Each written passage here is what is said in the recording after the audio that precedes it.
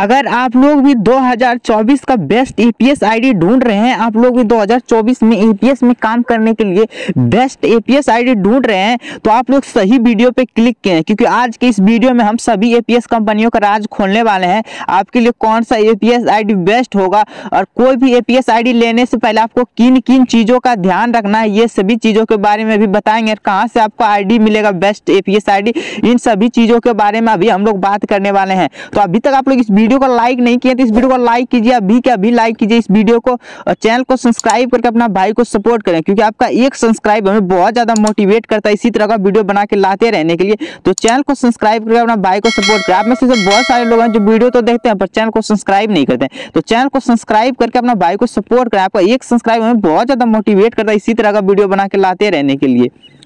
तो जैसे कि हम लोग बात कर रहे थे कि 2024 में कौन सा एपीएस कंपनी सीएसपी आईडी आपके लिए बेस्ट रहने वाला है। तो हम आपको बता देना चाहेंगे कि कोई भी कंपनी का आप सीएसपी या एपीएस आईडी लीजिए उसके बारे में आप पूरा पता कर लीजिए कि वो कैसा कंपनी है उसका बैकग्राउंड में वो क्या करता है क्या नहीं करता है। आर से या एन से वो रजिस्टर है कि नहीं है रजिस्टर ये सभी चीज़ों के बारे में आपको पता कर लेना है। तो वही जाके कोई भी कंपनी का आई डी लेना है और कोई भी कंपनी का आई डी लेने से पहले आपको उस, उसके बारे में सब कुछ पता तो करना है ये करना है। और उसको ये भी देखना होगा कंपनी कितना दिन से चली आ रही है। ऐसा नहीं कीजिएगा कि न्यू कंपनी अभी लॉन्च हुआ, उसमें कमीशन ज़्यादा दे रहा है। कमीशन के लालच में आगे चल के आपका बहुत ही नुकसान होने वाला है। तो इसके लिए आपको कमीशन पे नहीं जाना है कि कौन सा कंपनी में कितना ज़्यादा कमीशन मिल रहा है। आपको कमीशन नहीं देखना है सर्विस देखना है सर्विस अच्छा मिल रहा है उस कस्टमर सपोर्ट अच्छा है आरबीआई से रजिस्टर है एनपीसीआई से रजिस्टर है। ये सब अगर आप चीज़ देख लेते हैं तो आपके साथ फ्रॉड होने वाला नहीं है। आपको अभी हम बताने वाले हैं कि आपको कौन कौन सा सीएसपी या ए आईडी लेना चाहिए। तो हम आपको जो है कि अभी बताने वाले हैं, करीब पाँच एपीएस कंपनियों के बारे में। पाँच एपीएस कंपनी को बताने वाले हैं आपके, आपको। और इसमें से आपको हम दो, तीन ऐसा एपीएस कंपनी बताएँगे आपको, जिसमें कि आप अकाउंट भी ओपनिंग कर सकेंगे फुल केवाईसी के साथ, वो भी अपने मोबाइल फ़ोन से ज़ीरो बैलेंस अकाउंट ओपन कर सकते हैं फुल केवाईसी के साथ। और इसमें एक ऐसा एपीएस आईडी है, जिसमें कि आपको मिलेगा तीन बैंकों का APS Yes bank ICIC bank NSDL bank Aadhaar भी मिलेगा आपको इसमें दो बैंकों का। तो आपको हम इसी चीज़ों के बारे में भी बताने वाले हैं। तो वीडियो में बने रहे। थोड़ा सा भी अगर आप स्किप करके देखिए तो आपको कुछ भी समझ समझ में नहीं आएगा। तो इसलिए हम लोग नंबर वन पे जो एपीएस कंपनी के बारे में भी हम लोग बात करने वाले हैं तो नंबर वन पे आपका आ जाता है रॉयनेट सोल्यूशन रॉयनेट सोल्यूशन में अगर आप काम करते हैं तो आप बहुत ही लकी हैं। अगर आपको अभी तक आपके पास रॉयनेट सोल्यूशन का आईडी नहीं है तो अभी आप रॉयनेट सोल्यूशन का आईडी लीजिए। क्योंकि इसमें जो है कि आपको तीन बैंक का एपीएस मिलेगा।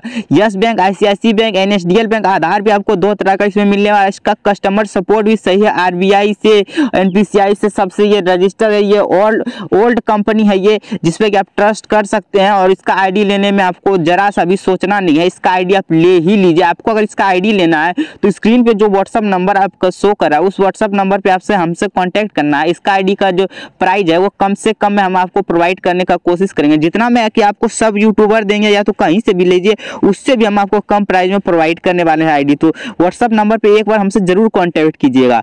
अगर बात किया जाए दूसरा कंपनी के बारे में तो दूसरा कंपनी में हम लोगों का आ जाता है R R N F I एक ओल्ड कंपनी है। आर एन एफ़ आई का जो कस्टमर सपोर्ट है, ये भी अच्छा है। आर एन एफ़ आई में भी सर्विस भी अच्छा है इसका। इसमें भी आप अकाउंट ओपन कर सकते हैं। आर एन एफ़ आई में भी आप फिनो का अकाउंट ओपन कर सकते हैं। जैसे कि रोनेट में आप ज़ीरो बैलेंस अकाउंट ओपन कर ही सकते हैं। तो आर एन एफ़ आई में भी आप लोग ज़ीरो बैलेंस अकाउंट ओपन कर सकते हैं। वो भी ऐप एप्लीकेशन में भी और वेबसाइट पे भी आप लोग ज़ीरो बैलेंस अकाउंट ओपन कर सकते हैं। सर्विस भी आपको इसमें D M T A P S वगैरह सब कुछ मिलने वाला है। और इसमें इसका कस्टमर सपोर्ट वगैरह भी सब कुछ सही है। तो आर एन एफ़ आई का भी आपको अगर आईडी लेना है तो स्क्रीन पे जो आपको व्हाट्सअप नंबर शो का उस पर कॉन्टैक्ट करना है। और अगर बात कर लिया जाए तीसरा कंपनी के बारे में तो तीसरा आ जाता है हम लोगों का बिजनेट बिजनेट एक ऐसा कंपनी है ओल्ड कंपनी है बिजनेट एक ओल्ड कंपनी गूगल पे आप सर्च कर सकते हैं इंडिया का बेस्ट एपीएस कंपनी तो फ़र्स्ट में जो आएगा, वो आएगा बिजनेट का। तो आपको बिजनेट का भी आईडी लेने में सोचना नहीं है, उसका भी आप आईडी ले सकते हैं, उसमें भी आपको सारा सर्विसेज़ मिलने वाला है। उसमें आपको दो तरह का चैनल मिलेगा। मिलेगा, यानी कि दो तरह का एपीएस मिलेगा, जिसको आप यूज़ करके बैलेंस जानकारी कैश डिपॉजिट वगैरह सब कुछ कर सकते हैं। तो आपको वो भी लेने में आपको सोचना नहीं है। और अगर बात कर लिए जाए कि हम लोगों का चौथा कंपनी के बारे में तो चौथा कंपनी आप लोगों तीसरा तीसरा कंपनी में हम लोगों का है, ये है ईजी पे ईजी पे का भी आप लोग आईडी ले सकते हैं। ईजी पे का भी आईडी लेने के लिए आपको सोचना नहीं है।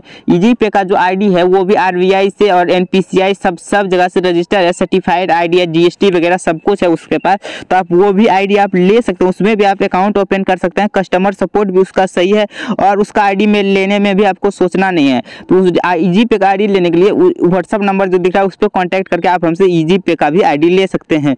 अगर और बात कर लिया जाए तो फिनो का आप आईडी ले सकते हैं। पेटीएम बंद हो चुका है तो पेटीएम का आईडी लेने का कोशिश ना कीजिएगा, क्योंकि आपके साथ फ्रॉड हो जाएगा तो फिर। और अगर बात कर लिया जाए तो आप एयरटेल पेमेंट बैंक का आईडी ले सकते हैं पेनियर वाई का आईडी ले सकते हैं, और स्पाइस मनी का आईडी ये सारा आईडी आप लोगों के लिए बेस्ट होने वाला है ये एनपीसीआई से सब जगह से रजिस्टर है तो ये आईडी लेने के लिए आपको कुछ भी सोचने की ज़रूरत नहीं है। तो आज के वीडियो में बस इतना ही, मिलते हैं नेक्स्ट वीडियो में। आशा करते हैं कि ये वीडियो आपको पसंद आया होगा। अगर ये वीडियो आपको पसंद आया है तो इस वीडियो को लाइक करके चैनल को सब्सक्राइब करना ना भूलें। जय हिंद, जय भारत।